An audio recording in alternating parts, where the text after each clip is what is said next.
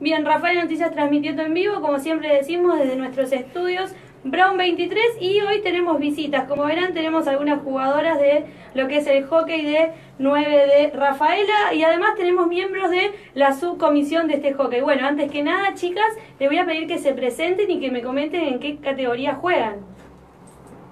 Eh, Joselina Loser en sub 13. Milena Zorrilla en sub 15 y sub 18. Milena, en tu caso, debutando Sí, en primera. Este año sí. ¿Cómo fue eso? Fue algo nuevo porque creo que todas las chicas, o sea, apuntan a llegar a eso. Entonces era un desafío también estar al nivel de las chicas. ¿Desafío cumplido, podemos decir, en este 2018? Sí. ¿Y lo que viene?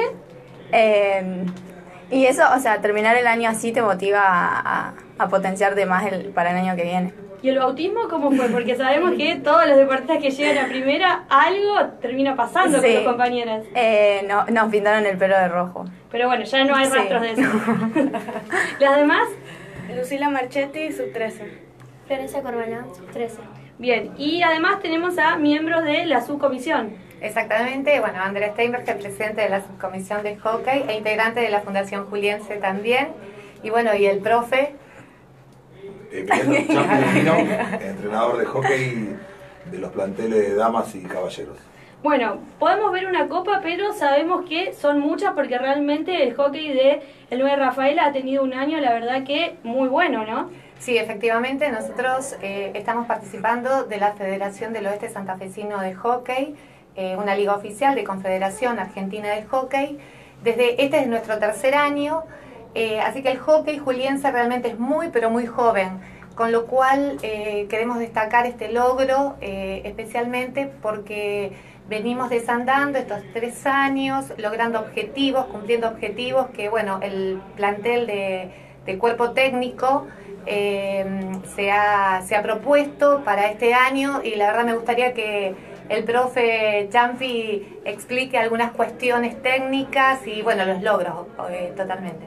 Bueno, ¿cómo fue este año? Porque sabemos que es muy bueno, muchísimas copas, muchísimos buenos resultados. Sí, mira, fue un año muy bueno, es el segundo año que estamos, estoy con el, con el club trabajando, tanto con divisiones superiores como inferiores.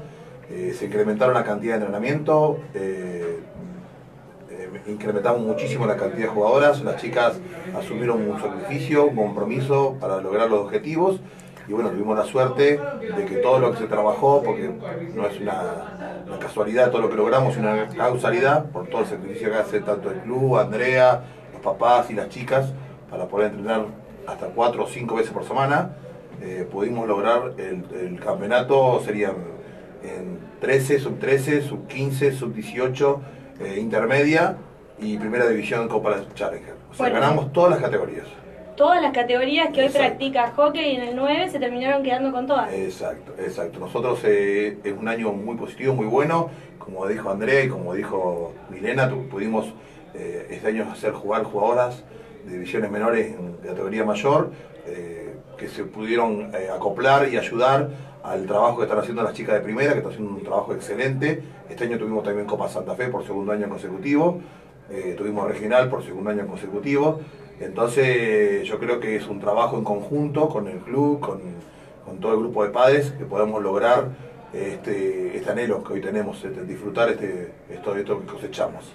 Bueno, Andrea, también hablamos de la Fundación 9 de Julio, ¿no? La Fundación Juliense, ¿cómo está hoy la institución? Primero desde el hockey y también a nivel un poco más ya eh, completo, ¿no? Bueno, institucionalmente el Club 9 de Julio eh, se está posicionando nuevamente. Eh, quiero hacer un, un destaque especial de todas las disciplinas que se practican en la institución.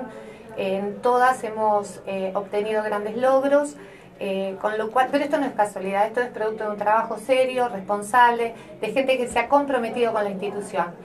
Y con idéntico criterio, luego que hemos recibido en, en Comodato un predio de cuatro hectáreas y media por parte de la municipalidad, se conformó una nueva institución interna, que es la Fundación Juliense, eh, con la finalidad de darle eh, funcionalidad a aquel predio. De hecho, hace escasos 15 días hemos hecho la presentación oficial de la fundación. Eh, la verdad que nos sentimos muy, muy honrados por el apoyo que hemos recibido, no solo, no solo del socio, sino este, de toda la comunidad rafaelina. Porque todo lo que vamos a hacer eh, en infraestructura en ese predio no va a ser para solo para el juliense, sino que nuestra idea es abrazar a toda Rafaela. Eh, tenemos objetivos plantados, planteados a corto, mediano y largo plazo, ya hemos empezado con la forestación, eh, que han colaborado todas las peques, los papás, toda la familia juliense. Hemos plantado 550 plantas de distintas variedades, eh, se han hecho los pozos de agua, mantenemos el predio en, en óptimas condiciones en relación al, al, desmalezado. Y ahora en breve estamos comenzando con las tareas de construcción de, nuestra, eh, de nuestro espacio físico, de la cancha de tierra batida con el objetivo posterior de recibir, eh, para que ese, que ese espacio físico pueda recibir la carpeta de césped sintético, que es también un gran anhelo. Pero ese sería el gran anhelo, me parece, para lo que viene, ¿no? Efectivamente, eh, estamos trabajando eh, en eso porque cuando Champi hacía referencia, y quiero de alguna manera retomar algunas palabras, él hablaba de sacrificio. El sacrificio que hacen estas deportistas y, y, los caballeros también, porque nosotros tenemos división de caballeros que también ha tenido grandes logros. Eh, eh, los chicos y las chicas entrenan en un espacio muy pequeño que es la cancha de fútbol 5 en calle Ayacucho. A veces nos contamos con 70, 80 jugadores en el mismo momento entrenando. El sacrificio que hacen los entrenadores, con, y hablo en plural porque no solo está Champi Dominino, sino que también en inferiores, eh, Yamila Breques y Karin, eh, Corin Ángel están trabajando con las peques. Nosotros tenemos un plantel de jugadores eh, que rondan los 170 y estamos recibiendo también nuevas y nuevos jugadores que mm, se sienten impulsados y, estimulados por es contagioso esto que está pasando con el 9. La gente quiere venir porque respira familia juliense. Nosotros somos una gran familia, eh, lo demostramos todo el tiempo, acompañamos, acompañamos a nuestras chicas y a nuestros chicos a todos los partidos, estamos siempre eh, alentándolos y, tratando de facilitarles de alguna manera todo lo que significa la práctica del deporte, porque no termina solamente en un entrenamiento o ir a, a, complementar con algún partido de la liga, sino que hay todo un, entramado que, viene acompañando y, tratando de llevar todo esto de una manera este, que termine siendo como es ahora, ¿no? Un éxito. El hockey juliense, hoy por hoy nosotros estábamos hablando con el profe Dominino y, y hoy por hoy el hockey del 9 de julio es el mejor hockey de la ciudad.